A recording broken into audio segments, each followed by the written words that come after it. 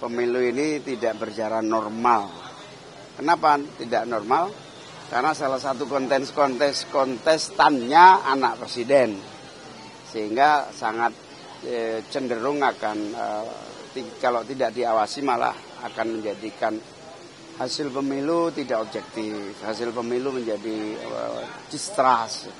Karena lebih baik sekarang semua masyarakat, terutama para aktivis uh, apa, kampus, kritikus semua, saya harapkan terlibat mengawasi pemilu.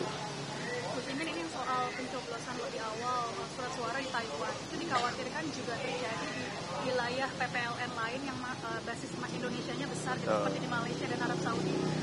Laporan serupa nggak terus yang masuk ke PKB barang? Malaysia yang sudah jelas uh, data pemilihnya belum masuk, banyak yang tidak tercatat dalam daftar pemilih. Yang kedua, uh, janganlah dikibul-kibuli kita dengan isu apa yang menyangkut pos tutup apa, udahlah kita bikin.